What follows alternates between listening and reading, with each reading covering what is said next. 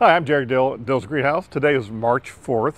It's not April 4th and it's not May 4th. So we've had a lot of people and the weather's been beautiful and we understand that you want to come in and we're glad you're coming in.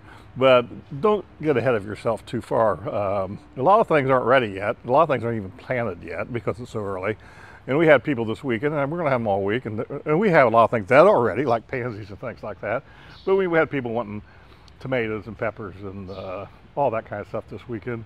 I wouldn't sell them to you if I had them ready because it's just way too early for that. So just be patient. There's a lot of things you can do in your yard. You can get your preening down, um, clean up the flower beds. In a week or two, you start planting pansies and some perennials. And so there's, this it has to be done in some type of order. It, and it really is too early. And we do, I've done this 50 years. Every year we get a warm week and people get antsy. And really for your sake, do it when it's supposed to be done. And you'll be a lot happier. You can find something to do until it gets warm in May. Okay?